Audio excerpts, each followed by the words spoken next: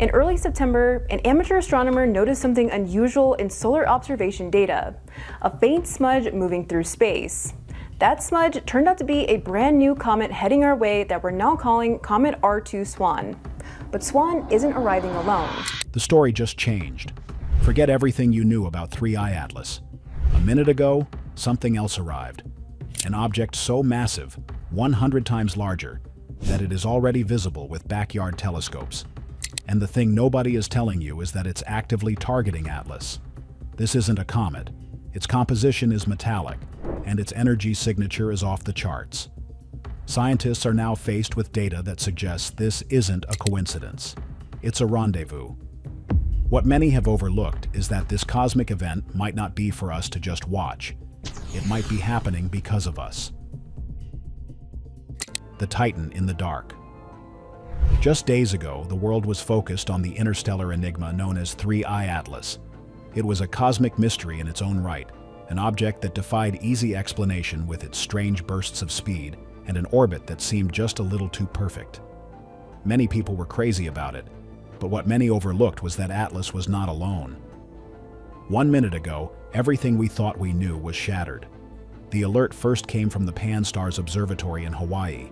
An automated system flagged a new object, initially dismissed as a sensor glitch. The reason was simple. Its size was impossible. But as other observatories turned their lenses, the truth became undeniable. Blazing in from the direction of the Aquarius constellation was an object of staggering proportions. Designated C 2025 R2, a dry name for a cosmic monster. This new visitor is estimated to be over 60 miles in diameter, more than 100 times the size of Atlas. To put it mildly, this is like comparing a speedboat to an aircraft carrier. Almost immediately, the data revealed this was no ordinary comet. Spectrographic analysis, which breaks down the light an object reflects, showed signatures that left scientists speechless. Instead of the typical mix of ice and porous rock, the readings showed high concentrations of titanium, tungsten, and a cobalt alloy. You see, these are the very same materials humanity uses to build spacecraft and deep-sea submersibles. Metals chosen for their incredible strength and resistance to extreme temperatures and radiation. What many overlooked in the initial chaos was its energy signature. While comets glow by reflecting sunlight off gas and dust, this titan was emitting its own faint but persistent energy, a low-frequency hum that our deep space network picked up as a rhythmic pulse. It wasn't natural thermal radiation. The most shocking fact is that it was structured. For people watching this, it feels like a science fiction movie come to life. An armored object, a cosmic fortress, was moving through our solar system. And then came the most terrifying revelation of all its trajectory. It wasn't just passing by, it was on a direct, calculated intercept course with 3I Atlas. The object's path was not a long, graceful curve dictated by gravity alone. It was too straight, too precise. It was moving as if it had a destination. That destination was a specific point in space that 3I Atlas was also racing toward the odds of two interstellar objects arriving from different points in the galaxy, heading to the same tiny patch of space at the same time, are not just astronomical, they are virtually zero. This wasn't a chance encounter. This was a rendezvous. Their impossible orbits pointed to an engineered event, a corridor in time.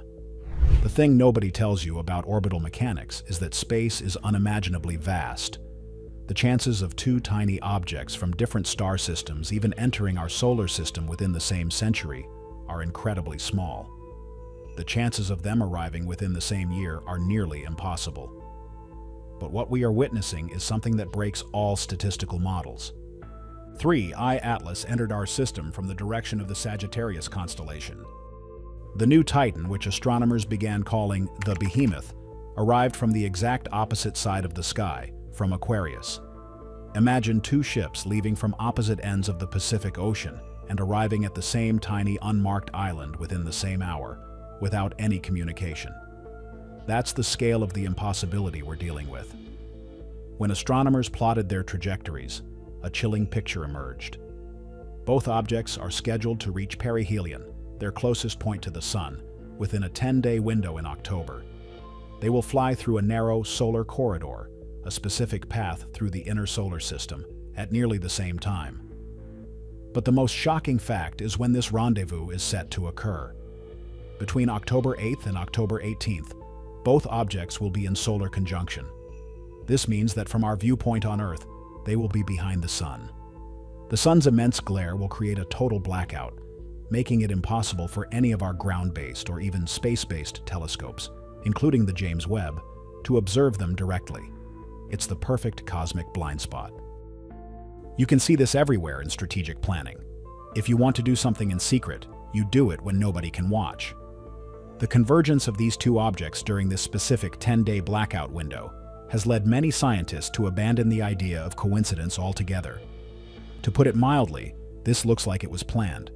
The solar corridor isn't just a path, it's a destination.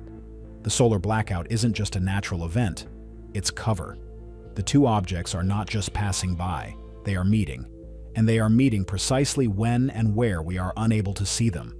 This revelation has sent shockwaves through the scientific community, forcing them to confront a reality they have long avoided. We may be witnessing an intelligently coordinated event. But this cosmic meeting may not be the first of its kind. The Göbekli Tepe connection. As scientists analyzed the trajectory of the behemoth, they calculated its orbital period, the time it takes to complete one journey around the Sun. The number they came up with was staggering, approximately 22,500 years. This meant that the behemoth is not a new visitor. It has been here before. Its last pass through our inner solar system would have occurred around the end of the last ice age, a time when humanity was just emerging from prehistoric darkness. Suddenly, ancient myths and mysterious archaeological sites took on a new, terrifying relevance. Many people are crazy about ancient mysteries, but the connections here are too strong to ignore. Take Göbekli Tepe in modern-day Turkey dated to be over 11,000 years old. This massive temple complex is covered in sophisticated carvings of animals and celestial symbols. For years, archaeologists have puzzled over one particular stone pillar, known as the Vulture Stone. It depicts a sky filled with cosmic symbols and what appears to be a swarm of objects falling from space. Researchers have long speculated that it records a comet impact that triggered a period of dramatic climate change. But what if it wasn't a comet? What if our ancestors witnessed the arrival of the behemoth?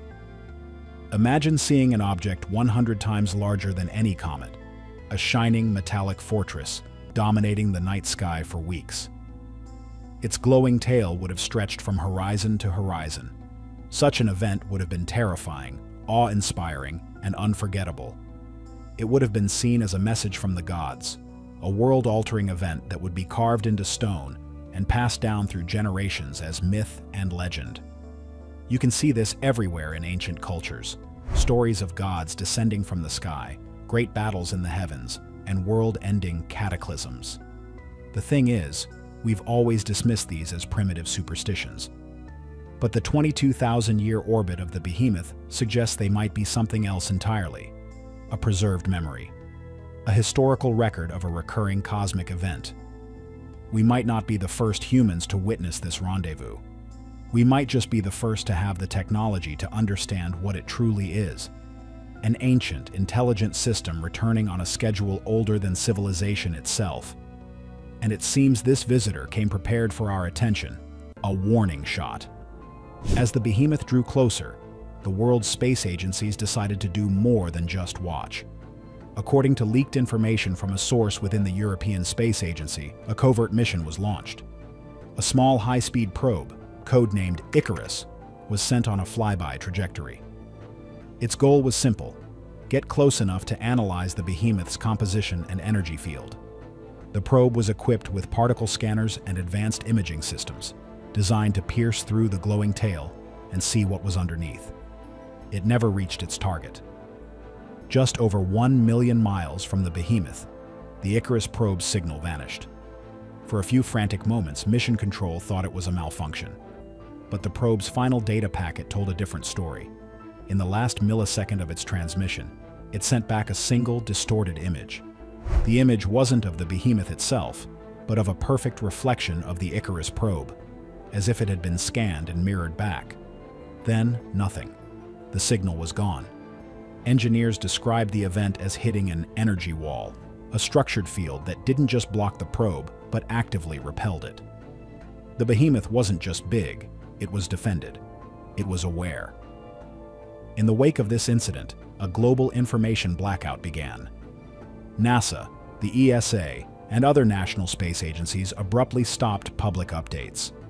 Live data feeds from telescopes like the James Webb were quietly taken offline. When journalists and independent researchers filed information requests, they were met with silence or heavily redacted documents. The official reason given was the upcoming solar conjunction, but the timing was too suspicious. The thing nobody tells you is that this kind of coordinated silence is unprecedented. It suggests that what was discovered was so profound, so reality-shattering, that the decision was made to hide it. While the governments of the world went quiet, the planet itself seemed to react. Magnetometers detected strange rhythmic pulses in the Earth's magnetic field, perfectly in sync with the behemoth's energy emissions. Animal migration patterns went haywire, with birds and whales moving in bizarre, disoriented ways. It was as if the planet was resonating with the visitor's arrival. We were not just watching an object in space, we were feeling its presence. The pieces were coming together, painting a truly terrifying picture. A new reality. For people watching this unfold, it feels like the puzzle pieces are finally snapping into place, and the image they form is both magnificent and horrifying. Oumuamua, the first interstellar visitor from 2017, was the Scout, a silent probe sent to observe. 3i Atlas is the drone, smaller, faster, and performing active maneuvers. And the Behemoth is the mothership, an ancient armored fortress carrying immense power and purpose. They are not separate random events. They are parts of a single coordinated system, a mission. The rendezvous during the solar blackout is not for them to meet each other. It's for them to perform an action while hidden from our view. What could that be? Some theories suggest a data transfer, with Atlas uploading information gathered on its journey. Others propose a refueling operation, using the sun's immense energy to power up for the next leg of a journey that spans millennia. But the most shocking theory connects back to Earth. The behemoth's 22,000-year cycle suggests a recurring visit. What if its purpose is to check on a long-term project? A project that began when it last visited at the dawn of human civilization. The strange engineered DNA sequences, the rhythmic energy pulses, the interaction with Earth's magnetic field, it all points to a terrifying possibility. The Anunnaki myths of Sumeria, the stories of gods descending from the heavens to create humanity, may not be myths at all. They may be a distorted memory of our own creation. The thing is, whether this is true or not, the arrival of this cosmic system forces us to confront our fundamental place in the universe. For centuries, we have spent our nights looking out at the stars, a species huddled around a fire, wondering if we are alone in the vast, silent darkness. It was a question born of loneliness and hope. But we may have been asking the wrong question all along. Perhaps the real, more chilling question is, how long have we been watched? The coordinated arrival of these objects, their trajectory too perfect to be random, timed precisely with our technological ability to finally see them, suggests something profound. It's as if our recent leap in science, our first radio broadcasts rippling out into the void, our probes touching the edges of our own solar system, may have finally tripped a cosmic alarm. We are no longer a primitive species confined to our planet, shouting into an empty room. We have stepped onto the galactic stage. We have become noticeable. Is this arrival a threat, a message, or simply the next chapter in a story that began before us? Let us know your thoughts below. Like and subscribe for more updates.